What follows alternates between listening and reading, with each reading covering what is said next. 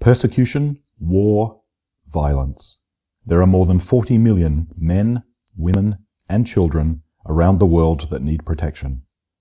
They can be persecuted because of their ethnicity, religion, nationality, or political opinion, or just because they belong to a social group that someone in power does not like.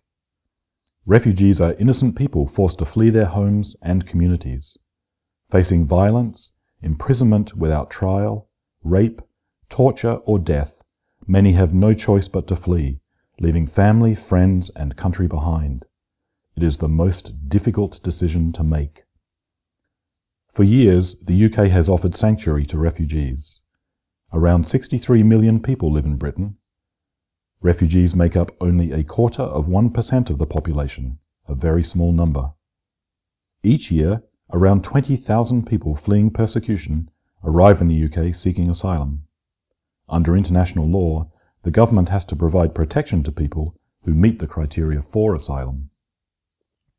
In the northeast of England, we have a very small number of asylum seekers, fewer than 2,000 out of a population of 2.6 million people. In Newcastle, the number of asylum seekers is smaller still. Fewer than 300 people are waiting to hear whether they will be allowed to stay. When a person is in danger and has to flee, there is often no time to say goodbye to family and friends, and no chance of taking their possessions with them. People are called asylum seekers while they are waiting to hear if the government will let them stay. If the government thinks it's dangerous for people to return, it grants them status as refugees. So what happens when a person fleeing persecution arrives in the UK to claim asylum? Most people fleeing persecution arrive by plane. They present their passport at immigration. They have to tell someone that they want to claim asylum. They are taken to a screening interview where they are fingerprinted, photographed, and questioned. They are then sent to a nearby hostel. Some time later they are dispersed, sent by bus to another city in the UK. They then have a long interview with a government caseworker and interpreter. A first decision is then reached. If negative, they can appeal, but if the appeal is rejected, they face detention and removal back to their country. If positive, they are given refugee status, initially for five years, and the challenge of building a new life in a strange place begins. Ayesha, a young woman forced to leave her country, will tell us the story of what happened after she arrived at the airport in London. When I finally got off the plane, I had been traveling for days. I was very tired and confused. I handed over my passport and told the man I needed to claim asylum. I was taken away and asked a lot of questions. It was difficult to talk straight away. I felt exhausted. I was fingerprinted and photographed before being sent to a hostel.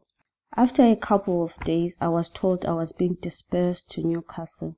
I had no idea where this was. After a long journey by coach we finally arrived. I was already missing my friends and family and felt so lonely and frightened.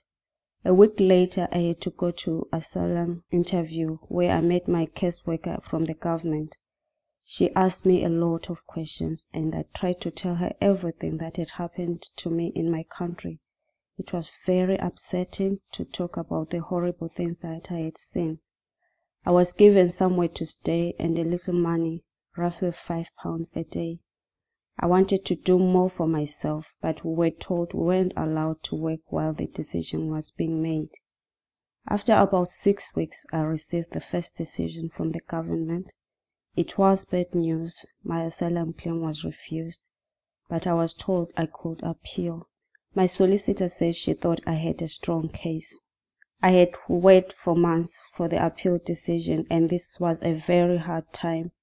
A few people living in our streets were very unfriendly, calling us bad names and throwing eggs when we went out. After four months, I heard the appeal was successful. I was granted refugee status. It was a huge relief. I later found out that only a third of applicants are given refugee status. Two-thirds are rejected.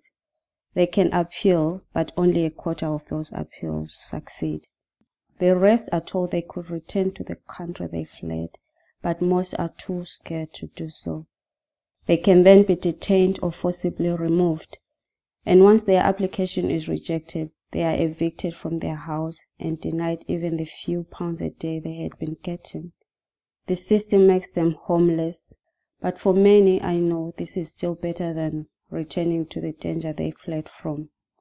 The West End Refugee Service helps people like me who are granted refugee status, as well as those who are waiting for the government to decide. They also help the people who have been refused asylum. West End Refugee Service is supporting over 400 people from 37 different countries. They make us feel welcome. They give us time to talk and help us to get back on our feet. But we still have to deal with the trauma that forced us to flee and the loneliness that comes from being away from home. That's very tough and it can be a very long time before that goes away.